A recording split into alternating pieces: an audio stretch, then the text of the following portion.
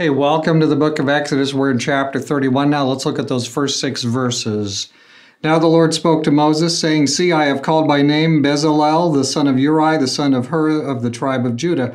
I have filled him with the Spirit of God in wisdom and understanding and knowledge and in all kinds of craftsmanship, to make artistic designs for work in gold and silver and in bronze, and in the cutting of stones for settings and in the carving of wood, that he may work in all kinds of craftsmanship. And behold, I myself have appointed with him Oholiab, the son of Ahisamach, of the tribe of Dan, and in the hearts of all who are skillful I have put skill, that they may make all that I have commanded you. So we're shifting now. Uh, we've gone through all this on the sanctuary, and now he is talking about the people I've called. And who did he call? You'd think maybe he'd call Levites. Only the Levites can touch anything, right? Once the priesthood begins, only they can be priests. But no, we see that there's craftsmen from the tribe of Judah, craftsmen from the tribe of Dan.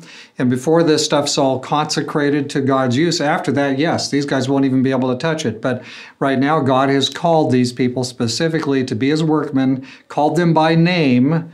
They are called, and they're going to serve in the creation of all this that we've been talking about for four or five chapters here.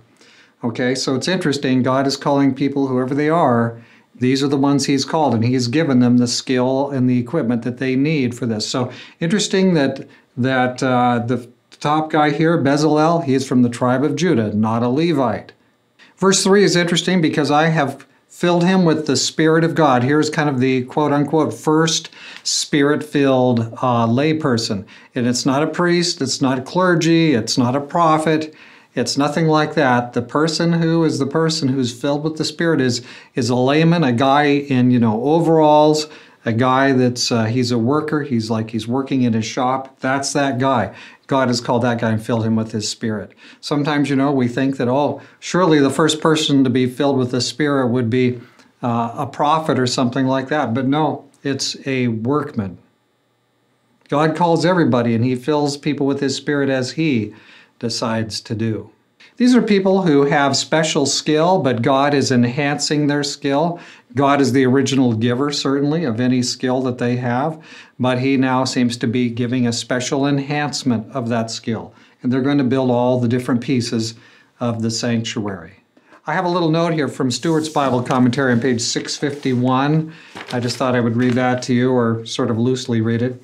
Being filled with the Spirit is a biblical idiom for having from God the ability to do or to say exactly what God wants done or said. Bezalel, as being filled with the Spirit, meant that he could correctly construct the tabernacle and its furnishings exactly as God wanted them made.